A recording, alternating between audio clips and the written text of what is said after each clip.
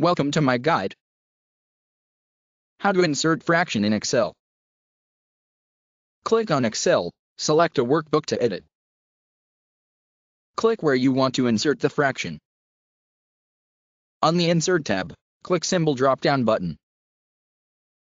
Click Symbol. In the subset drop-down, choose Number Forms. Select the fraction you want to insert from available ones.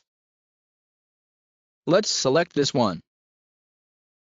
Click on Insert or double-click the fraction that you want to insert and the fraction will be inserted in your file.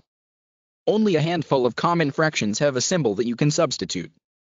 For more unusual fractions, such as 8 ninths, you can approximate the symbol by setting the numerator as superscript and the denominator as subscript. You have successfully inserted fraction. Thank you from MyGuide.